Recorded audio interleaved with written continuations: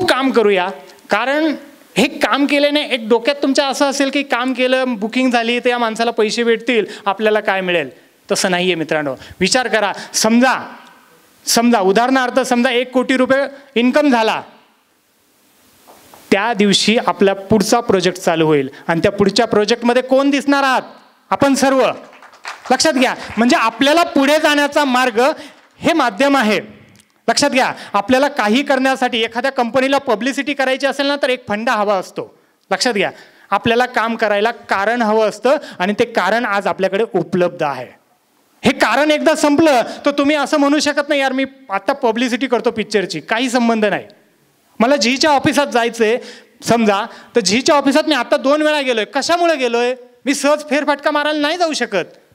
मी का जाऊ शकतो? कारण माझ्याकडे आज प्रोजेक्ट आहे. ते प्रोजेक्ट सांगण्यासाठी मी जाऊ शकतो. तसं तुम्हाला तुमची ताकद दाखवायला एक कारण आहे आणि त्या कारणाचा उपयोग तुम्ही स्वतः करून घ्या.